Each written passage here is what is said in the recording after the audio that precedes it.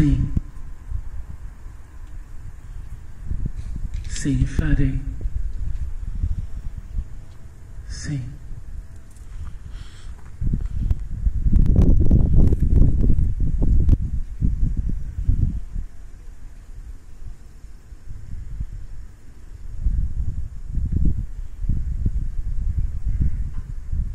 Farei sim, como a senhora quiser.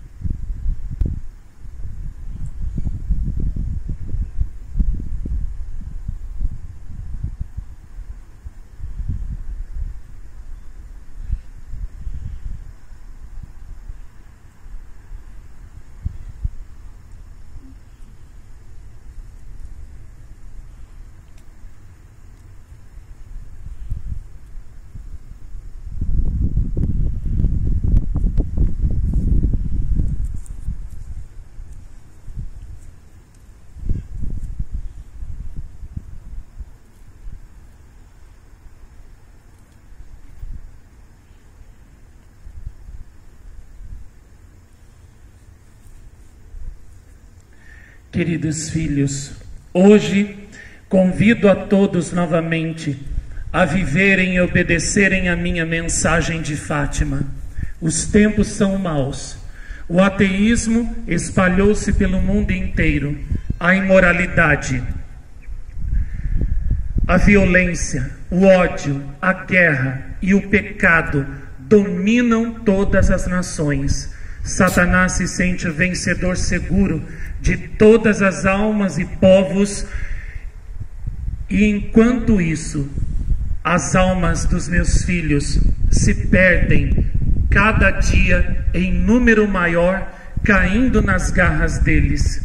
Procuro almas por toda a parte da terra, almas que se esquecessem de si mesmas, de sua vontade e se oferecessem a mim como meus apóstolos, como meus servos, para me ajudarem a salvar almas, espalhando as minhas mensagens, fazendo cenáculos de oração por toda parte, vivendo uma vida de oração, sacrifício e penitência, mas não tenho encontrado.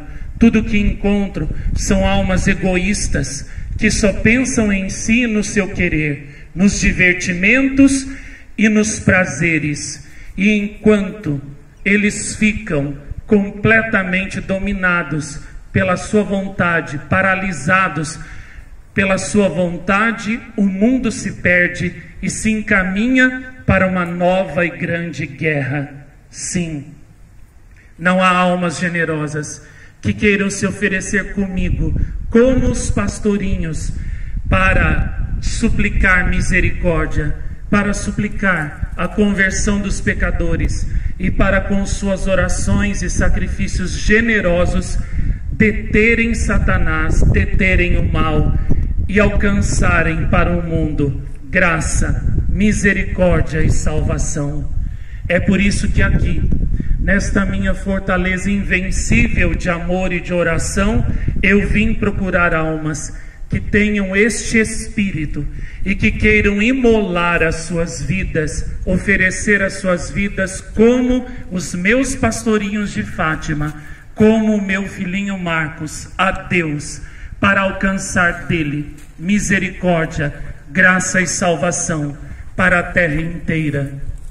Por isso eu fiz, eu fiz com que o meu filhinho Marcos produzisse tantos rosários meditados, tantas horas de oração, trezenas e setenas, para formar aqui almas fortes no amor, generosas no sacrifício, esquecidas e mortas completamente para si mesmas, sedentas e famintas, só da glória de Deus, do triunfo de Deus na terra e de salvar almas. E é por isso que aqui permaneço durante todos esses anos para formar estas almas que o Todo-Poderoso deseja e para finalmente cumprir tudo aquilo que comecei em Fátima e que deve agora ser levado à sua plena conclusão e realização através do meu filhinho Marcos e de almas generosas, valorosas, como Ele, que juntamente com Ele me dirão sim para a realização dos planos do Senhor, dos planos do meu coração. Que se levantem essas almas e que elas venham me ajudar a salvar esta humanidade perdida, pervertida e completamente dominada por Satanás e pelas forças do mal. Que se levantem as almas esquecidas de sua própria vontade, mortas para si mesmas, para o mundo, para o seu querer, e venham me ajudar com suas orações e os sacrifícios de sua vida a salvar muitas almas e realizar meu grande plano de amor. Sim, aqui será o meu jardim místico de amor, e aqui terei verdadeiramente almas que serão rosas místicas verdadeiras de oração, sacrifício e penitência. E é por isso que sempre mais movo meu filho Marcos a trabalhar, a produzir rosários, horas de oração, também a trabalhar incansavelmente, noite e dia, na minha rádio, na TV que Ele está fazendo para mim, nos livros e nos cenáculos, para formar almas verdadeiramente mortas para o mundo e vivas para Deus, mortas para si mesmas e vivas só para o meu filho Jesus e para mim.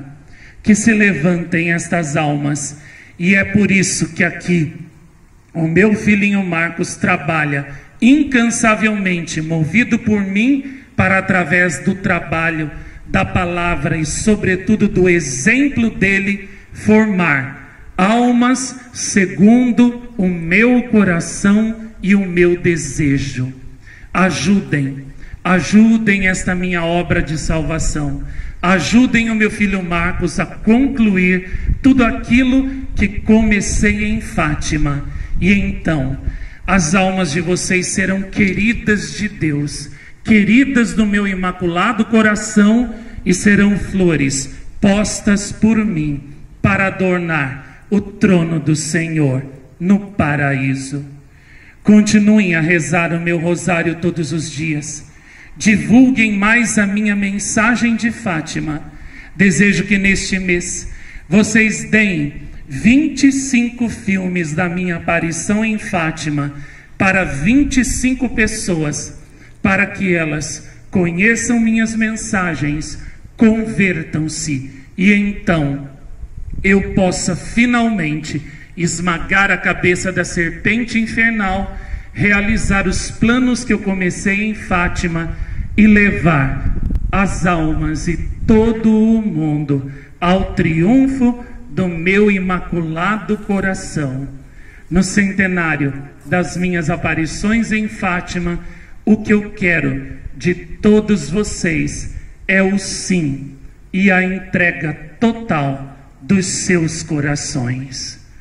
A todos eu abençoo com amor, de Fátima,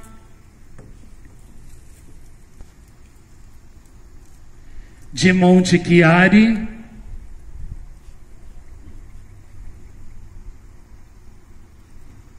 e de Jacareí.